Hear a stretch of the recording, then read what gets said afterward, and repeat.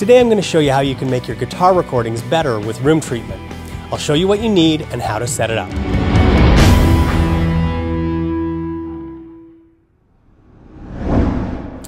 Thanks for joining me at Smith Music. My name is Paul Smith and I bring you in the studio and backstage as well as do gear reviews and show musicians how to build music careers. If you're new here, please consider subscribing and hitting the notification bell. Even in a large live room like I have, when I want a close sounding acoustic guitar, I use room treatment to tame reflections.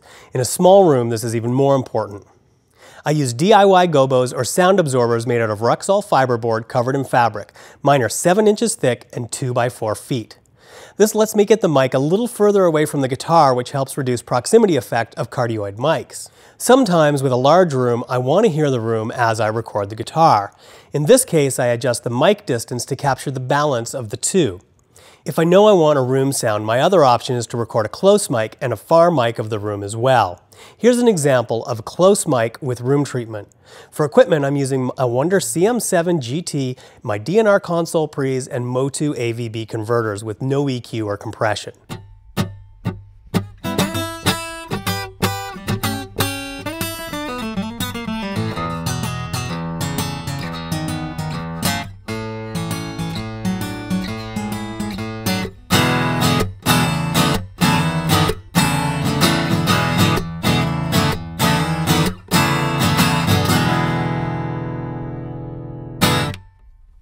Here's an example of the same placement without room treatment in a very large room.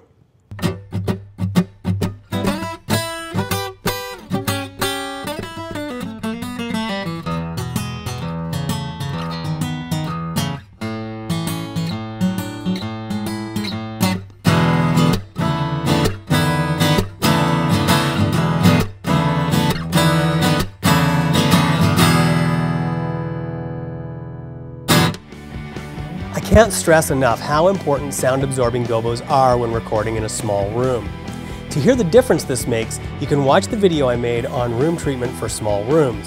If you found the information in this video helpful, please subscribe and hit the notification bell. In the YouTube description, you can find links to any equipment or software used in this video. Thanks for joining me in the studio and backstage.